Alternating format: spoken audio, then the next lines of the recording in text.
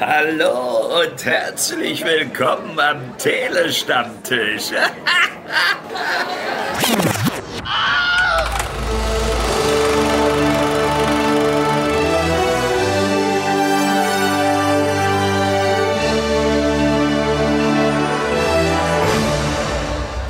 Im Jahr 1981 entfesselte Sam Raimi mit seinem Low-Budget-Horrorklassiker Das Grauen und lehrte uns eindringlich, Lesen ist böse.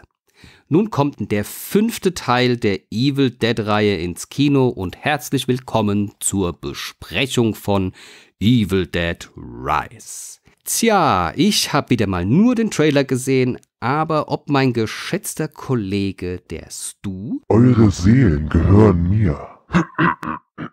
Entschuldigung. Hallo zusammen. Nur noch Mal- und Bilderbücher angefasst hat, verrät er uns jetzt. Ja, mich hat der Trailer zu Evil Dead Rise ziemlich verstört. Vielen Dank auch ans Trailerama, unserem Reaction-Format Folge 5, darf man gerne nachverfolgen. Aber hier geht es natürlich nicht um mich, sondern der Kollege darf sagen, was er denn so generell von dem Evil Dead Franchise hält. Ich mag das Evil Dead Franchise sehr. Ich äh, bin nicht so der ultimative Horrorfan, nicht so wie du, aber ich mag vor allem, dass diese Filme sehr kreativ sind, was, was ihre Perspektive angeht, dass sie sehr schön die Absurdität des Grauens mit äh, Humor verbinden und dass auch jeder Evil Dead Film so was eigenes hat. Also du hast den ersten Teil, der schon ein bisschen Humor besitzt, aber schon sehr grunzig, sage ich mal, daherkommt. Da hast du den zweiten, der quasi ein Remake oder fast schon eine Parodie des ersten ist. Dann hast du Army of Darkness, da ist einfach nur ein großes Fantasy-Abenteuer mit viel Humor. Und dann hast du den 2013er Evil Dead von Peter Alvarez.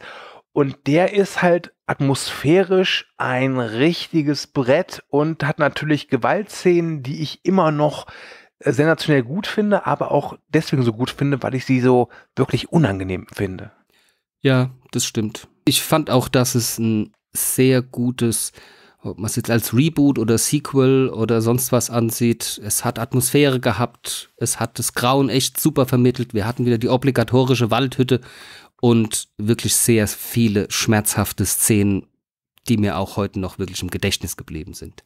Gut, dann kommen wir doch mal zu dem Neuen. Um was geht's denn? Es geht um Beth und Ellie, das sind äh, Geschwister.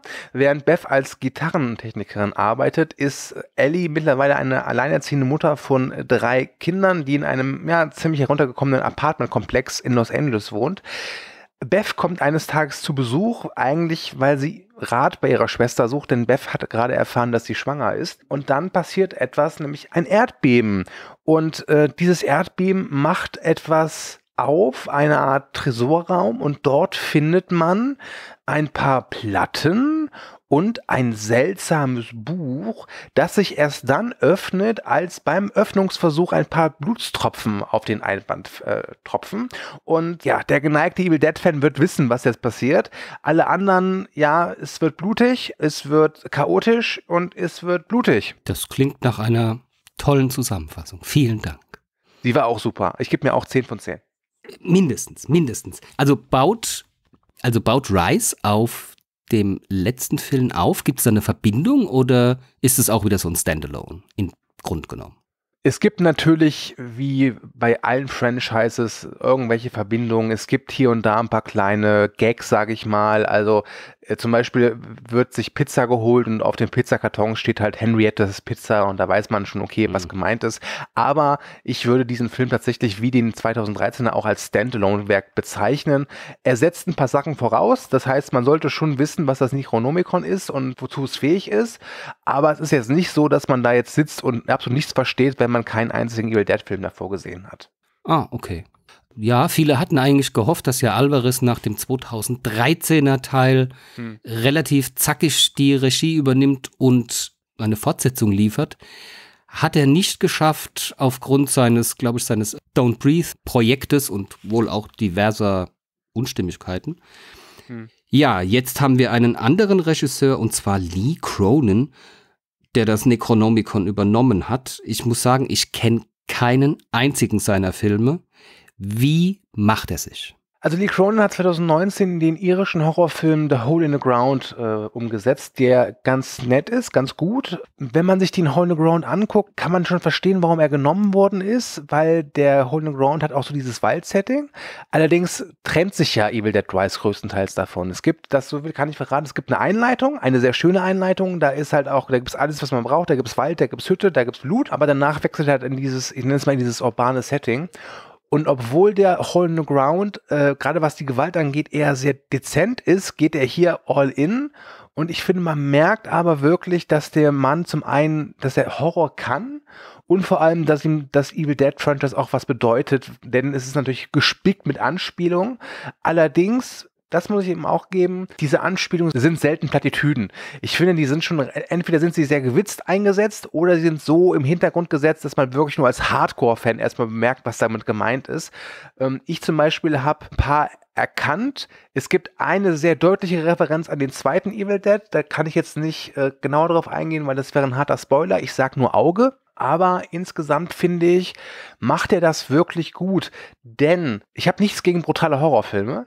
Aber ganz oft ist es so, dass für mich diesen Film etwas fehlt, nämlich Atmosphäre. Und mhm. auch wenn der Evil Dead Rise atmosphärisch nicht ranreicht an den Alvarez, ist er atmosphärisch dennoch ein verdammt starkes Stück Kino.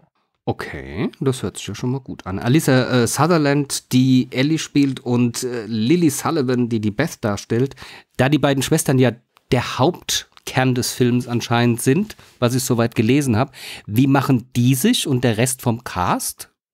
kommt es glaubwürdig rüber, dass man Sympathie aufbaut und mitfiebert und mitleidet? Ja, also das auf jeden Fall. Ich habe wirklich mit den Figuren mitgelitten. Die sind natürlich Schablonenfiguren, da muss man uns nichts vormachen.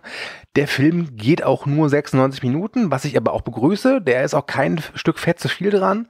Der geht sehr schnell los, der hat wenig Leerlauf, der nutzt wirklich alle seine Sekunden, die er hat, aus. Und die Lily Sullivan ist ein, ich nenne es mal gutes Final Girl. Es ist tatsächlich ein sehr weiblich geprägter Evil Dead. Dazu, normalerweise ist ja Evil Dead vor allem dadurch bekannt, dass das Final Girl mit einem Final Boy damals ausgetauscht wurde, Bruce Campbell. Mhm. Der wahre Star des Films ist aber Alyssa Sutherland, die ich zuvor nur kannte, weil sie eine größere Rolle in Vikings hatte. Und die arme Frau halt eben in Evil Dead Rise jetzt eben halt diejenige ist, die vom Necromonicon äh, ja besessen wird. Und wir wissen, wie das endet. Und ich fand ja schon Jane Levy in Evil Dead 2013 toll. Der, der hat ja schon da einiges durchgemacht. Aber ich muss sagen, das, was Alyssa Sutherland ja abliefert, und gerade wenn man sich, sich klar macht, dass hier wirklich relativ wenig mit CGI-Effekten gearbeitet wurde. Chapeau, das muss wirklich ein harter Dreh gewesen sein. Also sie macht echt einiges mit und das kann ich auch sagen, ähm, man merkt auch irgendwie, dass die auch hinter der Kamera und auch vielleicht vor der Kamera auch ihren Spaß damit hatten. Okay. Du hast es ja schon angesprochen, den Location-Wechsel, den es gibt. Tut er dem Necronomicon gut oder ist es eher so, dass du denkst, naja, man hätte vielleicht die, das alte Szenario Waldhütte doch behalten sollen? Oder eröffnet das jetzt dem Ganzen neue Möglichkeiten, die Sau rauszulassen? Teils, teils. Zum einen finde ich, tut es dem Ganzen mal ganz gut, aus dieser Waldhütte rauszukommen. Auf der anderen Seite ist das Setting aber so begrenzt auf diese Etage, auf diese Apartment-Etage und vor allem auf die Wohnung von äh, Beth und Ellie, ähm, dass du jetzt, dass ich nicht sagen kann, die machen jetzt wirklich viel daraus. Ähm, ich finde, sie machen das, was sie machen, gut. Da wäre natürlich noch viel mehr drin gewesen. Äh, es wurde ja im Vorfeld, als angekündigt worden ist, so ein Stadtsetting, dass alle schon gedacht haben, oh, jetzt geht das Necromonicon da irgendwie durch Beverly Hills und wir sehen irgendwie total epische Szenen. Das wirst du hier nicht haben. Das spielt wirklich zu 80 Prozent in der Wohnung und die restlichen 20 Prozent sind einmal halt äh, Prolog Waldhütte und 10 Prozent noch auf dem Flur. Das war's. Also da sollte man nicht zu viel erwarten, aber ich finde, sie machen es trotzdem, also sie versuchen, aus den Möglichkeiten, die sie haben, schöpfen sie wirklich sehr viel raus. Okay, es hört sich ja fast an wie ein Horrorkammerspiel. Wobei, in den anderen ist es ja auch nicht, nicht wirklich äh, weitreichend, sondern das ist ja nur Wald und Hütte. Ja, genau. Also du hast, glaube ich, als Ausreißer hier Army of Darkness, der, der ja auch irgendwie auch so ein bisschen raussteht, wie ich finde, weil der halt mehr wirklich Fantasy ist als Horror und halt eben die Ash vs. Evil Dead Serie hast du auch noch, aber ansonsten, wenn es so um die um das reinrassige Evil Dead Franchise geht, dann ist das immer sehr Kammerspielartig, oder? Hm. Deswegen dachte ich gerade eben, naja, es wäre halt doch toll gewesen, doch vielleicht mal eine, eine größere, eine größere, ein größeres Areal zu infizieren. Aber ja, es stimmt. Ich glaube auch, dann geht relativ viel Atmosphäre flöten, wenn du da, was weiß ich, tausende von Dämonen besessenen Leuten hast, die da durch die Gegend rennen.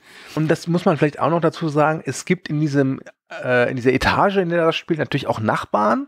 Äh, die werden auch so halbherzig halt so äh, aufgebaut oder vorgestellt. Aber da ist auch relativ klar, das ist halt einfach nur Futter, ne? Hm. Und man merkt auch relativ schnell, welche Figuren wirklich zentral sind und welche Figuren wirklich wichtig sind. Und ähm, ich möchte nicht zu viel verraten, aber ich hatte vergessen, wie rigoros das Franchise ist mit den Figuren. Ähm, es gibt ja so eine goldene Regel, die man nicht brechen sollte, vor allem auch in Horrorfilmen nicht. Und äh, das ist dem Film aber ziemlich egal. Ich sage nur so viel. Kinder. Uh. Okay. Evil Dead 2013 hatte ja schon ein, einen Mega-Verbrauch an Kunstblut 2500 äh, Liter, glaube ich, etwa. Hm. Jetzt haben sie groß gekündigt, ja, bei uns sind 6500. Und ich mir gedacht habe, okay, gut, das, dieses Finale, was es 2013 gab, das war so überzeichnet von dieser roten Suppe. Wie verhält sich's in Rise? Und die Frage, du hast schon gesagt, es wäre eine tolle Atmosphäre, aber ist er auch spannend? Er ist spannend, definitiv. Er ist natürlich sehr Jumpscare-lastig, aber das gehört auch zur Reihe hinzu. Vor allem, weil ich finde, dass wir ein paar Jumpscares auch ganz gut äh, vorbereiten. Und, und was den Blutverbrauch angeht, es ist halt so ein bisschen wie auch im 2013er, da fließt schon viel Blut und ähm, im Finale finden sie halt eben einen Weg, dann ganz viel Blut zu zeigen, weil, seien wir ehrlich, ich glaube, dieses dieser Blutverbrauch im 2013er kam halt einfach dadurch, du hast es schon gesagt, weil es eben da Kunstblut regnet. Hm. Und es regnet jetzt kein Kunstblut in Evil Dead Rise, aber sie haben einen Weg gefunden, einfach mal die, die Hauptdarsteller komplett wirklich bis zum, ja, bis zur Stirn in die rote Pampe zu, zu, zu stellen. Ähm, sieht toll aus, ist atmos atmosphärisch stark und die Gewalt an sich ähm, ist sie ist halt, der ist halt brutal, der hat seine 18er Freigabe nicht zu Unrecht. Ich finde, dass der 2013er noch ein Ticken brutaler einfach ist, aber und wer den Trailer gesehen hat, weiß, es gibt da eine Szene, wo eine Käsereibe drin vorkommt. Ich will nicht zu viel, also, was heißt zu viel verraten? Tatsächlich, das, was man im Trailer zeigt, das wird ein bisschen fortgeführt, aber erwartet nicht, dass diese Käsereibe danach noch irgendwie groß zum Einsatz kommt. Aber sie finden wirklich viele Mittel und Wege, diese, so diese Gewaltmomente einzufangen, wo man sich denkt, so, das ist ja, es ist so absurd, man kann es nicht ernst nehmen, aber es ist auch irgendwie unangenehm, weil so ein Ticken kann man sich schon vorstellen. Und deswegen sind halt so Szenen wie zum Beispiel das mit der Käsereibe oder Glasessen schon sehr, sehr heftig. Sie finden aber noch andere Mittel und Wege. Und am Ende finden sie natürlich auch Wege, damit es komplett, kompletter Exzess wird. Ne? Juhu!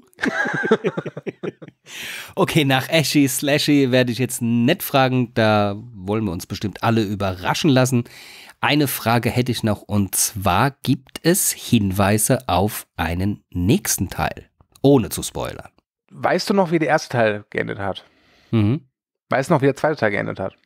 Mhm. Weißt du noch, wie Evil Dead 2013 geendet hat? Mhm. Dann weißt du ungefähr, wie Evil Dead Rise endet. Mhm.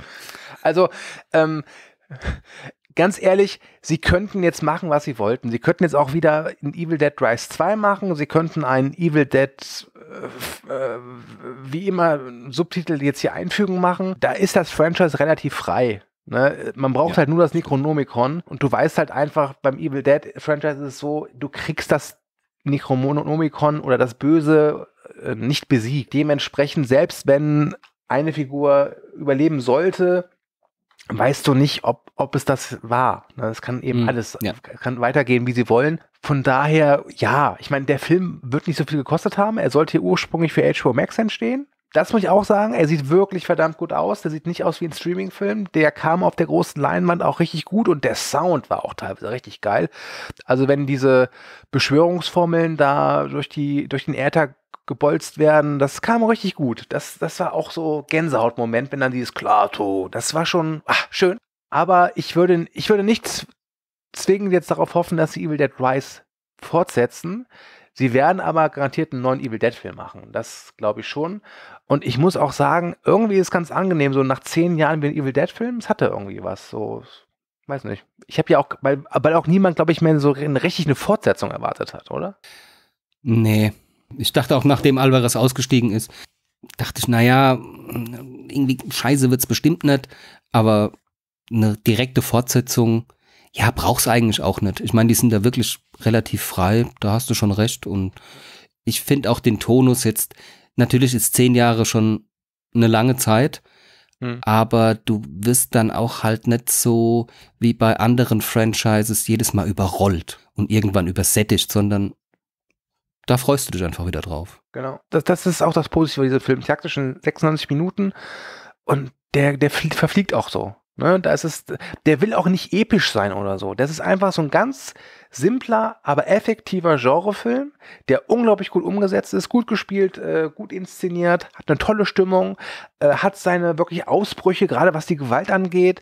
Aber es ist alles so, dass der Film nicht mehr will. Der will einfach nur dieser kleine Genresnack sein, der auch irgendwie Freude hat an diesem Exzess.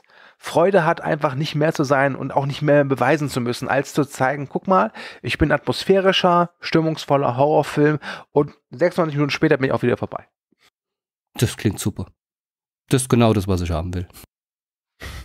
Ich weiß doch, was dich glücklich macht. Ja, vielen Dank, wenigstens eine. ähm, Äh, meine Fragen sind mir jetzt auch schon ausgegangen. Hast du noch irgendwas anzumerken? Zwei Sachen, die, die ich wirklich toll fand, die haben beide mit dem äh, Prolog zu tun. Zum einen fängt der Film mit einem richtig guten Gag an, also einem richtig schönen Gag, wie ich finde. Und zum zweiten, die Enthüllung der, des Titelschriftzugs ist einfach noch geil. Das ist richtig geil. Also das, also ich habe ja gesagt, der Film ist nicht episch, außer das. Die, die Logo-Enthüllung von Evil Dead Rise ist mega geil. Also das war, da saß ich wirklich im Kino und dachte mir so, oh, oh, ja, Mann, oh ja, ich bin so bereit jetzt, ich bin so bereit jetzt, ja.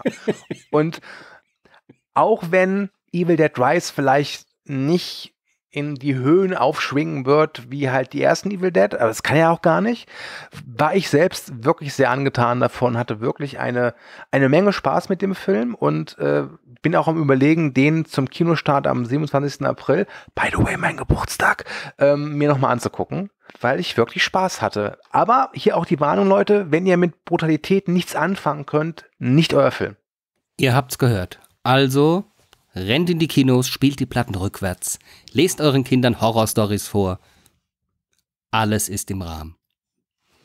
Dann sag ich schon mal vielen herzlichen Dank und verabschiede mich. Ciao, ciao. Tschüss. Uns gibt's auf Spotify, YouTube, Podcaster, allen gängigen Hörplattformen. Zieht's euch rein. Viel Spaß und bis zum nächsten Mal. Sehr geehrte Damen und Herren, wertes Publikum, liebe Hörende, vielen Dank für eure Aufmerksamkeit und Zeit. Ich hoffe sehr, euch hat gefallen, was ihr gerade gehört habt. Wir, die Redaktion des Telestammtisch, betreiben ein semi-professionelles Podcast-Projekt zum Selbstmitmachen. Also meldet euch bei uns, wir beißen auf. Außerdem freuen wir uns immer über Feedback via Social Media und E-Mail sowie euren finanziellen Support. Ebenso frohlocken wir förmlich über Bewertungen auf den gängigen Podcast-Plattformen. Wer möchte, darf uns gern immer und überall empfehlen. Alle relevanten Links findet ihr in den Show Notes. Vielen Dank und bis zum nächsten Mal. Euer Andi.